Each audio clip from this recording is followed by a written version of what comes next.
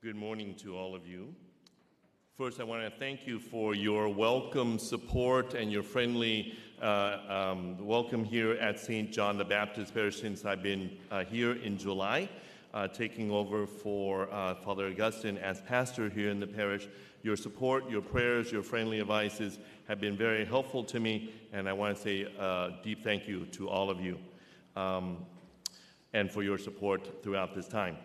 Today, I'm here to talk to you about the 2022 Diocesan Pastoral Services Appeal.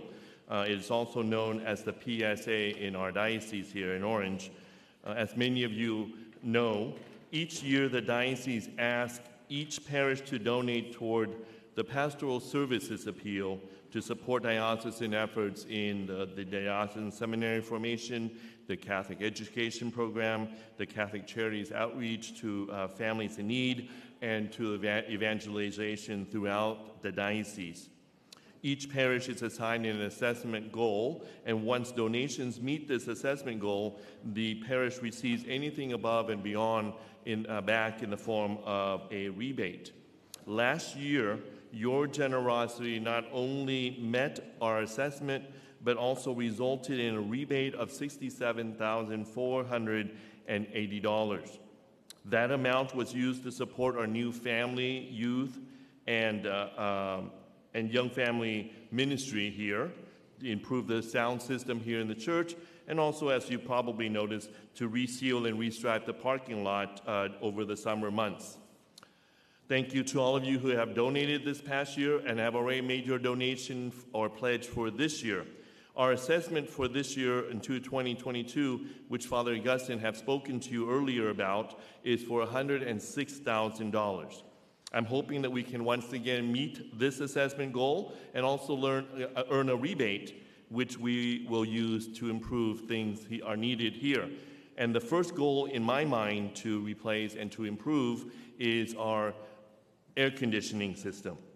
The air conditioning system was put in my first time around uh, as an associate here when we renovated this whole church. Uh, that, that, pro, uh, that system was put in um, about 18 years ago. So, as you can probably sense this past summer, the air conditioning system has become very tired. And it needs to be retired. Um, partly because it's using a freon gas that's no longer available to us. And so it makes it very difficult when it maintenance uh, requires to have it worked on. So this coming year, I hope to have the new air conditioning system in place, and your generous support uh, for, uh, for this will be going toward uh, that project. Um, we, of course, uh, encourage you to, uh, if you haven't had a chance to make your donation, your pledge, uh, please consider doing so. The, it's very easy to do. The envelopes are available to you in the pews. And also, you can get on our website at sjboc.org, and there's a, a link there you can make your donation. Um, we're grateful to your uh, ongoing and generous support uh, to our parish here. Um, and I would certainly appreciate also all your prayer for support. And speaking of prayers, we are beginning the Advent season. And I would like to add to your uh, recommendation to your uh, Advent preparation time uh, these next four full weeks of Advent. This is the one of the few times that we have the full four weeks of Advent. Christmas is on Sunday this year. You can't move it any later uh, in the week. So it's four full weeks of Advent. I would let, recommend to you this: if you could pledge to make at least half an hour, if not a full hour, of Eucharistic adoration per week as part of your spiritual preparation for the coming birth of Christ. I'm encouraging my staff, I'm encouraging our volunteers here as well in an email I sent out to them, encouraging everybody in the parish, including staff, volunteers, everybody, that we do this together. We support each other and we come to church. The church is open until 9 o'clock at night, so you can come anytime throughout the day. And if you choose to make uh, your adoration at a more peaceful time at night, you can get the code to our Eucharistic Chapel, which is right behind me uh, there. It's open 24 hours a day. Uh, you can get the code there if you prefer to make your adoration time at night. Uh, please be, uh, take that uh, recommendation seriously. That's a, that's a recommendation for our Advent preparation this year. There's also a, a giving tree in the back vestibule there. Uh, it's a tree that is set up by the Knights of Malta. The Knights of Malta sponsor a holy uh, a hospital called Holy Family Hospital in Bethlehem.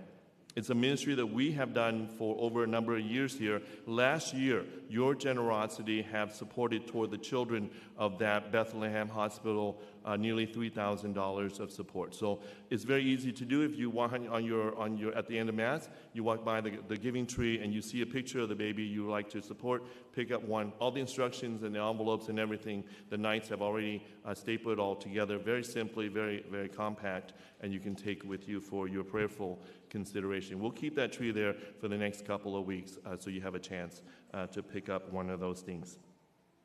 We're very happy with the increased attendance of our weekend masses here at St. John the Baptist. We've done an October count, and we've seen, we, we're very happy to see there's an increase in the number of parishioners coming to Mass on a regular basis here at St. John the Baptist. Visitors are always welcome here, of course. If you intend to attend Mass here regularly, please consider being a registered parishioner at the parish. Registration is very simple. There are forms right there in the vestibule, but also you can uh, register online, uh, like I mentioned at sjboc.org. It's good to be a Roman Catholic. It's not good to be a roaming, unregistered Catholic. So uh, please consider registration and uh, thank you for your support. We have the Knights of Columbus right outside. If you order Christmas and Advent wreaths, they have those available. They also have some extras available if you didn't get a chance to order. They also have other Christmas things like Christmas cards and, and auto magnets and things like that for you uh, that you can pick up from them. There's also a gentleman here offering uh, a nine day preparation of Advent toward Christmas. It's, uh, he's offering it for free. It's, uh, it's one per family if you wish to come by and, and pick one up uh, he's offering that to you and your family. Please pick up a parish bulletin or check the website for upcoming uh, updates, especially updates for the Christmas uh, Mass schedules, uh, for the Advent confession times, our last confessions before the, uh, before the, the heavy holidays uh, of, of Christmas a Vigil and Christmas Mass. check that. For the times that you can come and take advantage of the sacrament of reconciliation. Um, Okay. The Mass intention will be offered today for the repose, I'm sorry, for the Blankfield family. Now we will pray the uh, St. Michael's prayer together. St. Michael, the archangel, defend us in battle. Be our defense against the wickedness and snares of the devil. May God rebuke him, we humbly pray. And do thou, O Prince of the heavenly host, by the power of God, cast into hell Satan and the all evil spirits, seeking the ruin of souls. Amen. Have a blessed Advent season.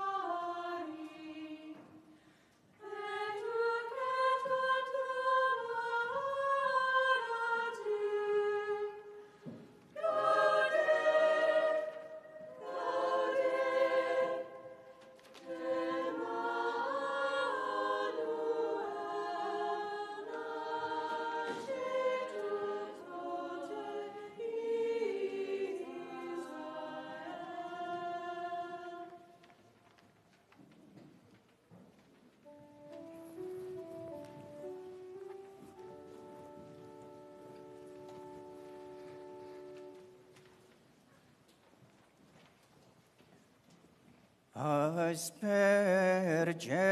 me.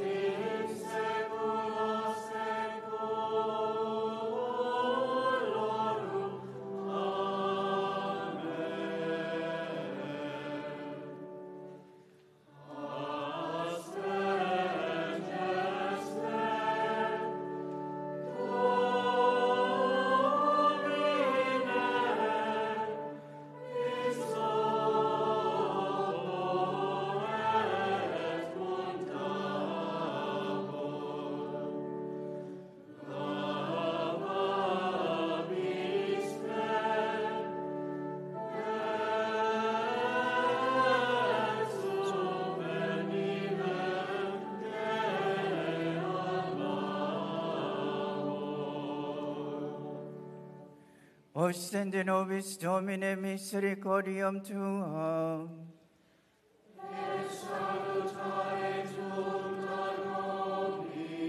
Domine exaudi orationem meam.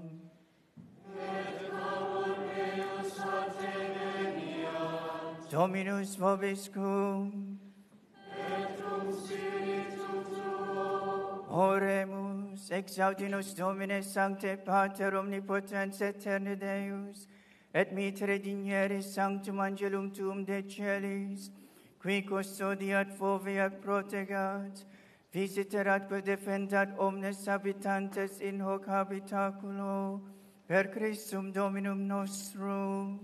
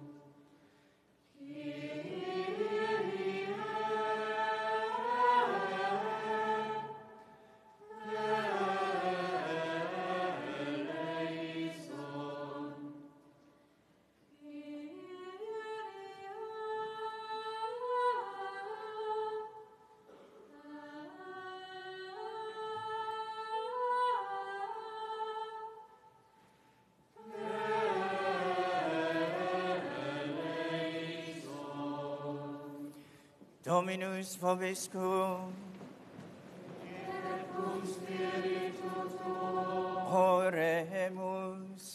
Exita quesimus Domine potentiam tuum et veni, ut ab imminentibus peccatorum nostrorum periculis, temeriam ut protegente eripi, te liberante salvari, qui vivis et regnas cum Deo Patre in unitate Spiritus Sancti Deus, per omnia saecula saeculorum.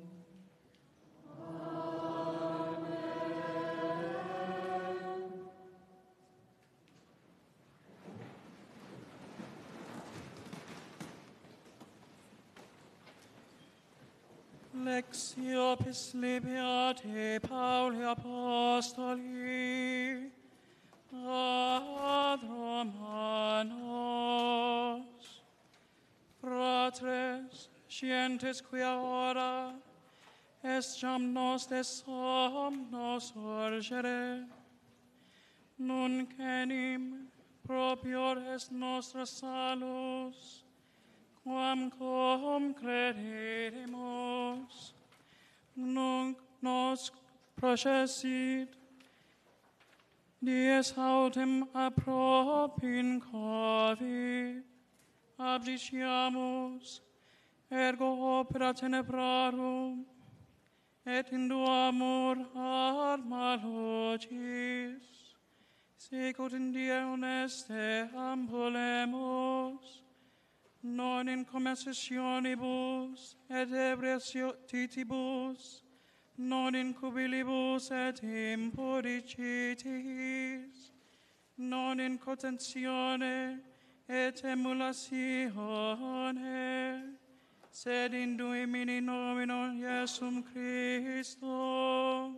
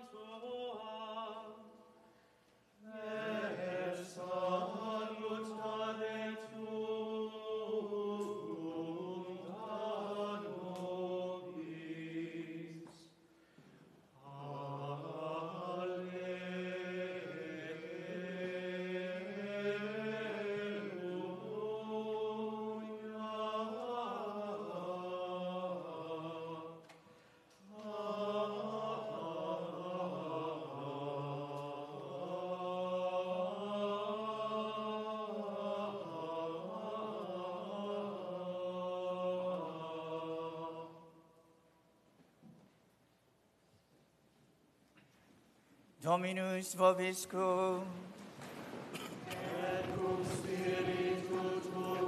Sequentia Sancti Evangelii secundum Lucam.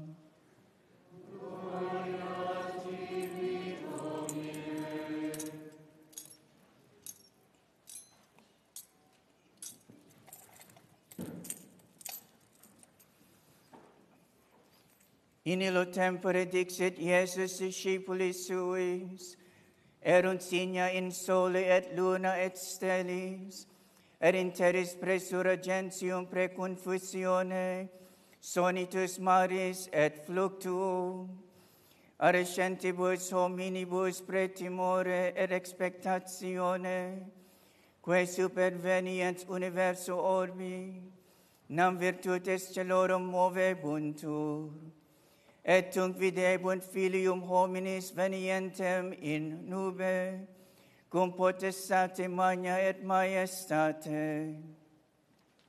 His autem fieri incipientibus, respicite et levate capita vestra, quoniam appropinquat redemptio vestra. Et dixit illis similitudinem, videte ficulniam et omnes arbores, cum producunt iam exe fructum, scitis quoniam prope est estas. Ite vos cum fideritis hec fieri, scitote quoniam prope est regnum Dei. Amen dico vobis, quia non preteribint generatio hec donec omnia fiant, Celum et terra transibunt, verba autem mea non transibunt.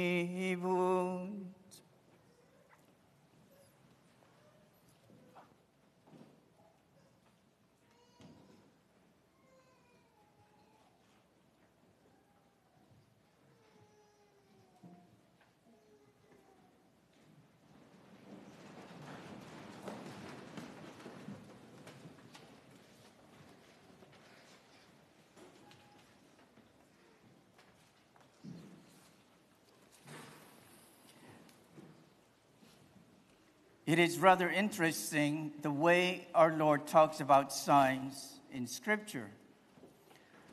On the one hand, he says that it is an evil generation that seeks a sign. People who need signs to prove God's existence or to verify the truth of His Word are only exhibiting their unbelief. If you insist upon a sign or some special experience, if God must jump through your hoops before you will trust or follow Him, that only reveals an absence of faith. For faith is believing without seeing, knowing that you have a trustworthy source who is speaking to you. And on the other hand, to those who believed and did not ask for signs, our Lord actually gave signs. Not only did he perform many miracles, signs that he proved, signs that prove he truly was the Messiah, but he also gave us signs of his second coming and the end of this world. In today's gospel, our Lord speaks about signs in creation in the sun, the moon, the stars, and even climate and weather related signs. After mentioning the fig tree and all the trees budding, our Lord speaks of the sea and the waves roaring, nations in distress, and people in perplexity as the powers of creation are shaken. In other words, nature itself will give us signs that the return of Christ is imminent. The problem is that unbelief misreads the signs. This happens all the time. People see the signs in creation, as in earthquakes, changes in climate and weather, floods, fires, storms, and droughts. And instead of reading these things as a call to repentance and to faithful watching for the Lord of creation to return, they see it as a call to preach the gospel of climate change and to worship creation itself as their Lord.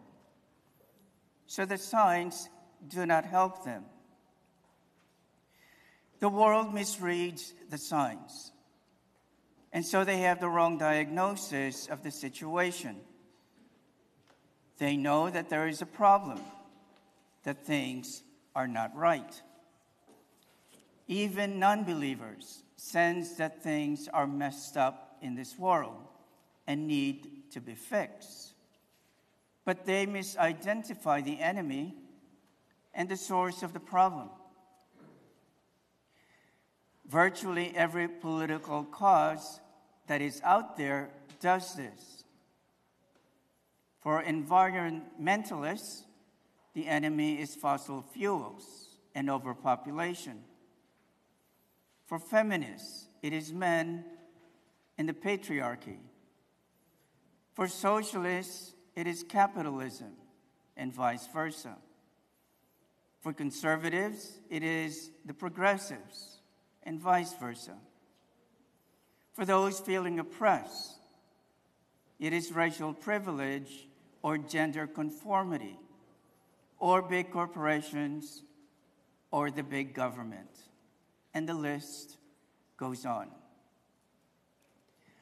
We have this intrinsic spiritual need to set up a system of good and evil that explains why reality is the way it is. But when we do this apart from God's Word, we end up with a system that comprises of half truths at best, and we end up embracing delusions and lies. Scripture tells us that the real issue, the real enemies, are the devil, the unbelieving world, and our own sinful nature. But we do not like this diagnosis because it means that the problem is not some external system or group of people that we can blame, but instead a deeper spiritual matter that involves a sickness within every one of us. Our Lord commented on how we misread or do not properly understand the signs of times. He said, When you see a cloud rising in the west, you say at once, A shower is coming. And so it happens. And when you see the south wind blowing, you say, There will be scorching heat. And so it happens. You hypocrites, you know how to interpret the appearance of earth and sky but why do you not know how to interpret the present time? We Christians know that when creation seems to be coming apart, that is because it is a fallen creation, in bondage to decay under the curse of sin. We should not be surprised by the upheavals of creation because we know that this is creation passing away. Creation is wearing down and wearing out, just as our human bodies. When we see the signs of the end, our reaction as Christians should be different from the unbelieving world. To the faithless, these signs bring pessimism and panic. And our Lord said that men's hearts will fail them because of fear. There will be a sense of retreat that things are spiraling downward. And our pop culture reflects this with the incredible number of movies and shows that focus on a dystopian future world after some apocalypse occurs because of disease or war or climate catastrophe. Creating these scenarios is mo- almost like a therapy to deal with the dread of what is coming. But our reaction as believers is quite different. For these signs point to the return of our Savior. Whereas the world is weighed down with anxiety as things come apart, our Lord tells us to look up and lift our heads because our redemption draws near. so we can have peace even in the midst of these chaotic events. These signs are actually good news in that they point us to Him. This is how we should think of the last day, not as a doomsday, not only as judgment day, but as redemption day. For that is what it is. It is a good day that is coming. Yes, the great and the dreadful day of the Lord, as the prophet Malachi puts it. Dreadful for those who did not strive to live in the grace of Christ, but great for those who are in the grace of Christ. And the most valuable of all signs to which we should look at and adore is the sacrament of the altar. To the unbeliever, the sacred host bears no importance. But to us who believe, the sacred host is a marvelous sign, for it assures us, as often as we received it, of our Lord's pledge to us of his eternal life.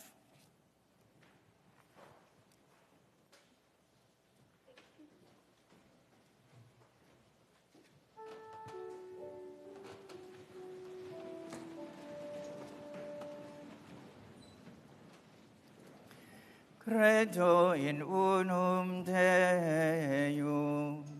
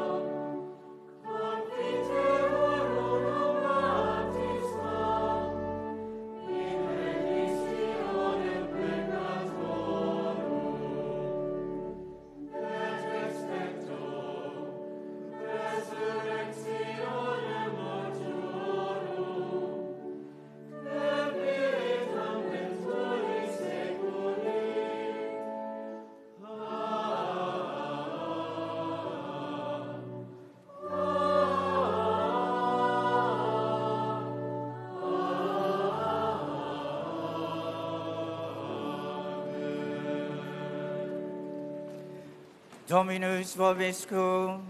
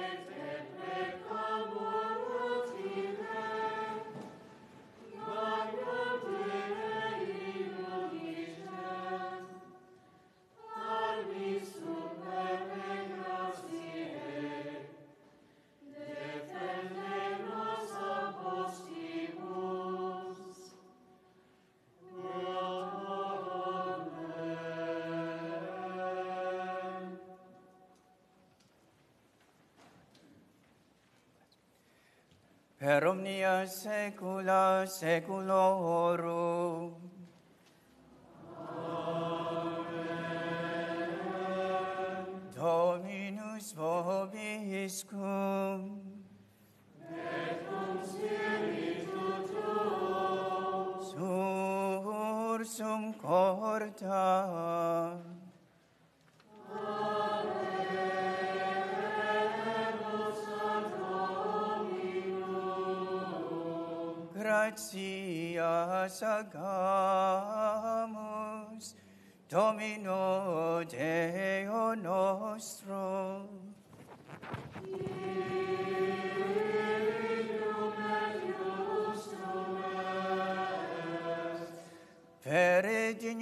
Dignum et justum et secum et salutare, nos sibi semper ubique gratias agere, Domine Sancte Pater Omnipotens, Eterne Deus, per Christum Dominum nostrum, quem perdito hominum, generi salvatorem misericors, et fidelis promissi, cuius veritas instrueret in scios, sanctitas justificaret impios, virtus adiuva, adiuvaret infirmos.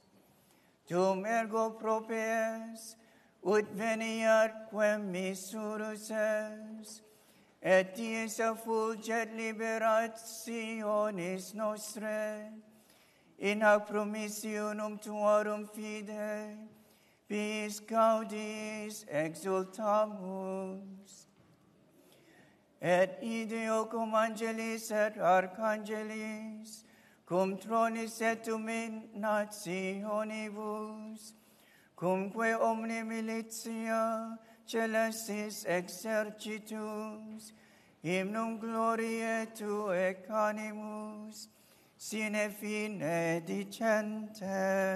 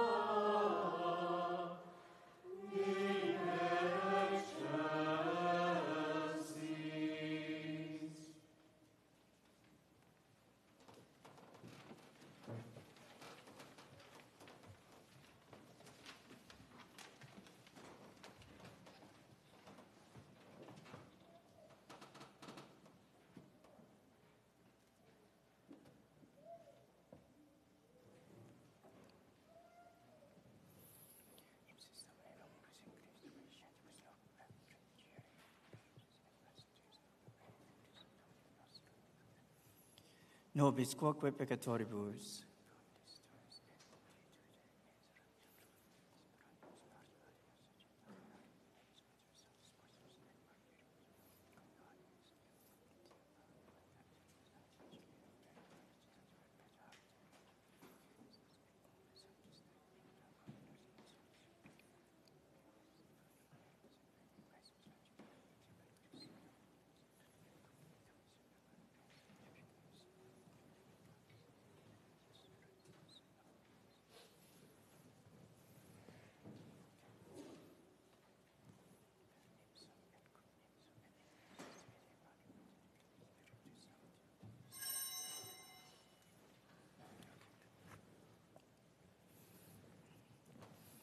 Per omnia saecula saeculorum.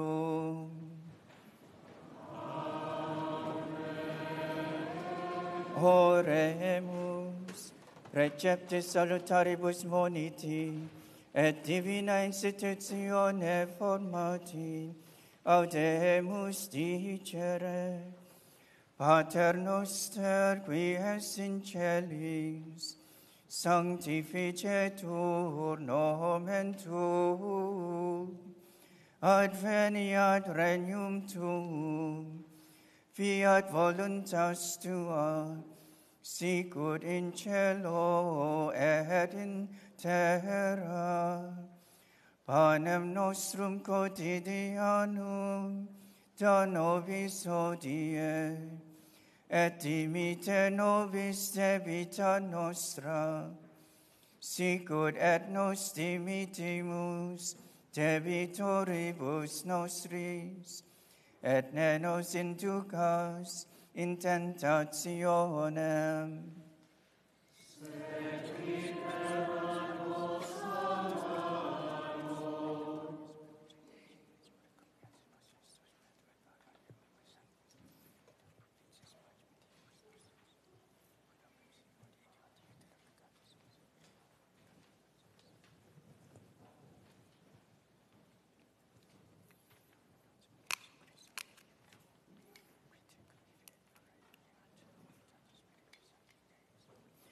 per omnia saecula saeculorum.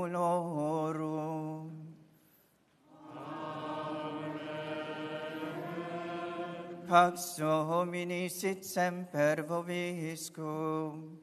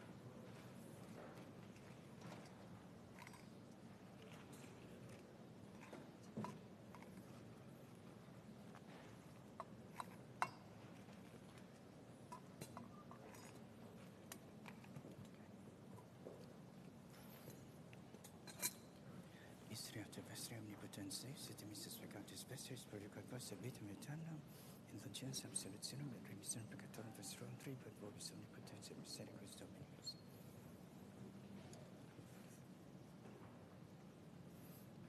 Ecce agnus Dei, ecce qui tollit peccata mundi. Domine non sum dignus et interesse of tectum meum, sed tantum dic verbo et mea. Domine non sum dignus in intra subjectum meum, sed tantum dic verbo et senabitur anima mea. Domine non sum dignus in intra subjectum meum, sed tantum dic verbo et senabitur anima mea.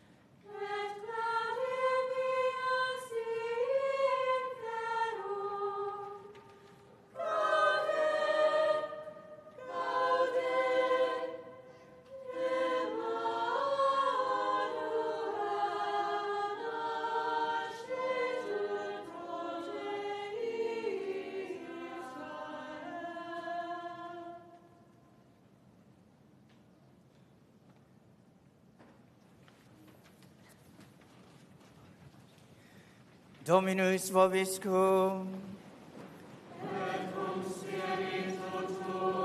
Oremus.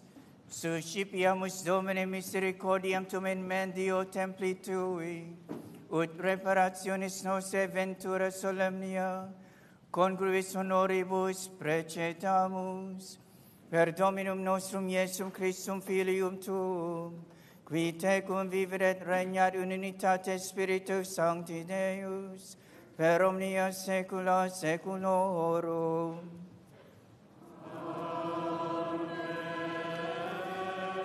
Dominus vobiscum.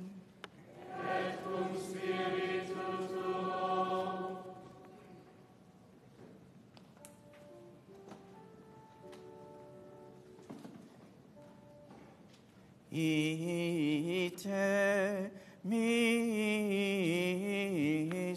est.